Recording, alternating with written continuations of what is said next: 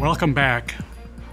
As we begin a new semester and a new year, I'd like to encourage everyone to take a moment to reflect on the wonderful achievements that surround us, the great things that our faculty, staff, students, and alumni are accomplishing every day.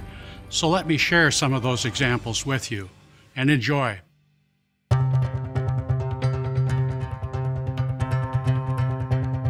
The dedication of this new Penn State Hershey Children's Hospital means everything to us and our ability to give back to the community.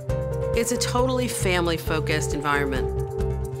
We're a group of researchers and students working to put a Penn State spacecraft on the moon. This will be the first private exploration of another body in the solar system. Our Commonwealth campuses have responded to the needs of community, to the needs of the workforce. Our students have tremendous opportunities before them. Being a potter and working with clay, I've always been fascinated between this intersection of life and art and this idea that the largest work of art we all make are the lives that we live.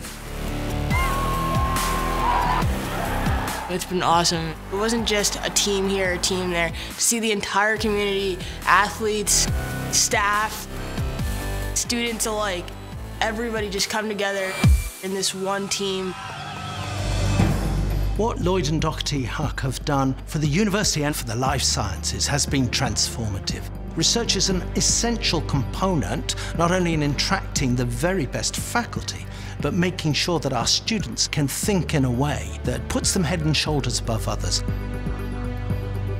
I think the value of a Penn State education helps individuals make a major contribution to their work, to their communities, and within their personal lives. And I um, am humbled each time I could see these individuals. I shall continue to do what it is that Penn State gave me an opportunity to do. I thank you. We must do something about this. I feel so great in knowing that today we're gonna start speaking out. We're gonna talk about this thing. We can't let this thing destroy our kids.